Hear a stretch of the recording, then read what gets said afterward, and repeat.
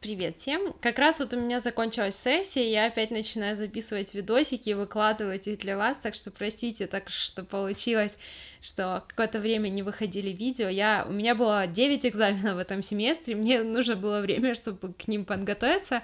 И, в общем, одним словом, я э, для того, чтобы эффективно готовиться к экзаменам, я, конечно же, искала какие-то стратегии для того, чтобы эффективно учиться и при этом нормально себя чувствовать человеком, да. И поэтому сегодня я вам хочу поделиться той стратегией, э, обучения, подготовки к экзаменам, причем не обязательно использовать ее только во время э, экзамена. Вы можете ее использовать постоянно во время вашего обучения в школе, в университете, и это та стратегия, которая эффективна для меня, это та стратегия, которую очень советуют э, немецким студентам на сайтах, разных на форумах. В общем, в любом случае, так учатся большинство немецких студентов, и сегодня расскажу вам э, основные несколько правил, по которым нужно действовать, чтобы эффективно подготовиться к экзаменам и хорошо их сдать.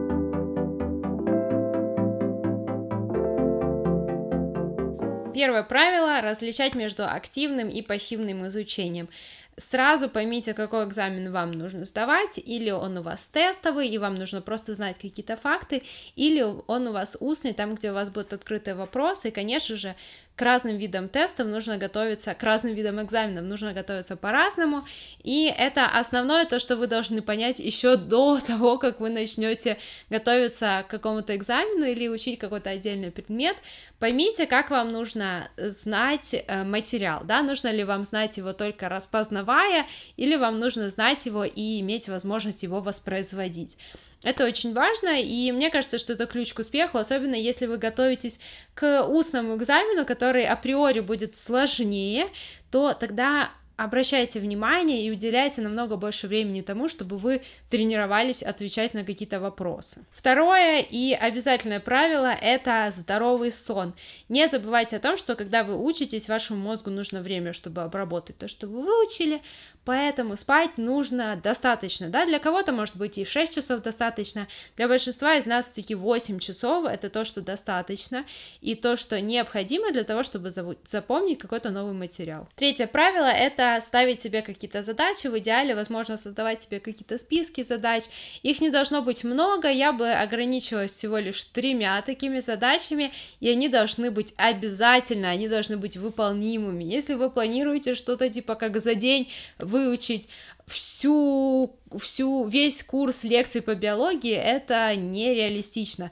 Три маленьких задачи, которые вы точно можете выполнить, это оптимально, и, конечно же, это вам даст почувствовать себя э, хорошо, потому что вы не провели день зря, и это поможет вам двигаться вперед.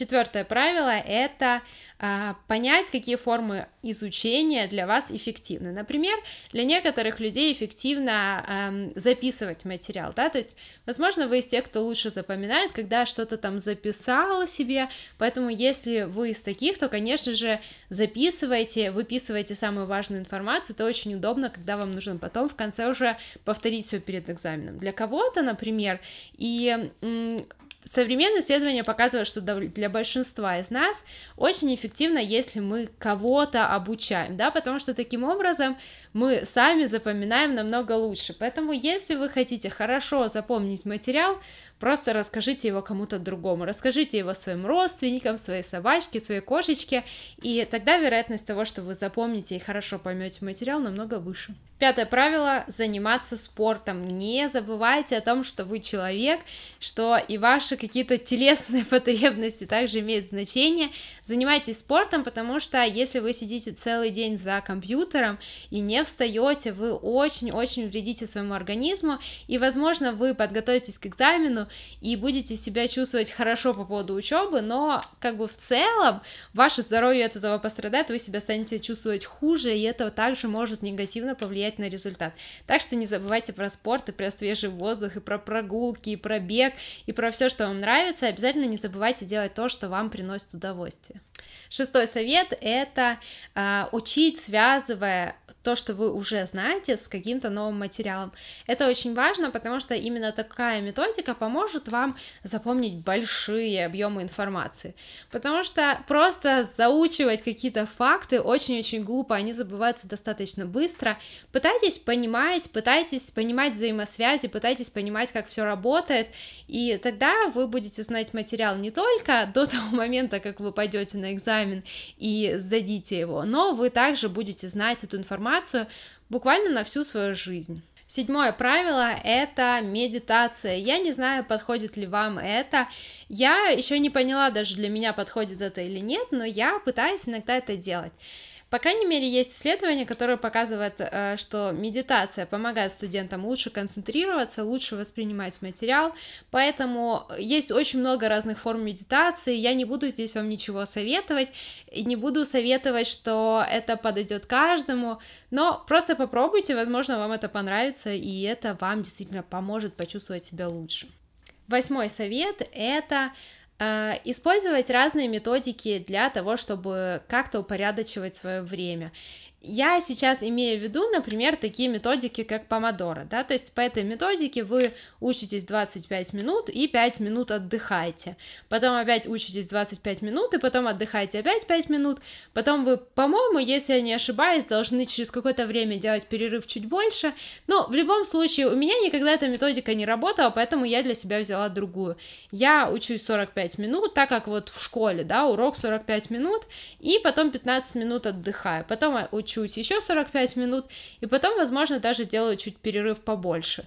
После трех таких вот как бы единиц, да, обучения, после трех таких часов, мне точно нужен перерыв, который будет дольше, чем 15 минут. В общем, в любом случае, поймите, в каком темпе вам удобно учиться, и обращайте внимание просто на то, чтобы вы учились дольше, чем вы отдыхаете, потому что иначе это все малоэффективно. В любом случае, поймите, что вам подходит, что вам нравится, и делайте это так, и тогда у вас все получится. Ну и последний, девятый совет — это система повторения. Не забывайте о том, что материал нужно повторять, иначе он просто забудется, поэтому э, старайтесь в конце дня сначала повторять тот материал, который вы выучили в течение дня, потом хотя бы э, через два дня опять повторить, и в общем делайте так, чтобы у вас вот эти вот промежутки повторения увеличивались. В интернете, я думаю, вы найдете достаточно информации о том, как нужно повторять, и чтобы вот там все это связано с какими-то биоритмами мозга. В общем, я не сильно верю в это, но я стопроцентно уверена, что повторения очень важны. И то, что увеличение вот этих вот расстояний между повторениями также очень важно делать, не стоит повторять очень много в самом начале, а потом забивать на это все. Точно так же не нужно вообще забивать на повторение, потому что это малоэффективно. Вы учите что-то, а потом тут же забываете. В общем, повторение это важно, выработайте тут точно так же для себя какой-то план, какую-то стратегию, как вам это удобно делать, и как для вас это эффективно работает, и тогда все получится. В общем, вот такие вот мои 9 правил для того, чтобы эффективно учиться в университете, для того, чтобы эффективно сдавать экзамены. А, думаю, что они не уникальны для Германии, они работают по всему миру, неважно, в какой стране вы живете, Какие-то правила могут показаться вам бесполезными, какие-то правила вы уже используете в данный момент. В общем, надеюсь, что каждый из вас что-то для себя взял из этого видео, что оно было для вас интересным. Если это так, обязательно поставьте ему лайк. Не забывайте подписываться на канал, не забывайте про ссылочки на Amazon. Если вы что-то покупаете на Amazon, просто переходите туда через мои ссылочки. Я вам буду за это очень благодарна. До новых встреч. Пока-пока.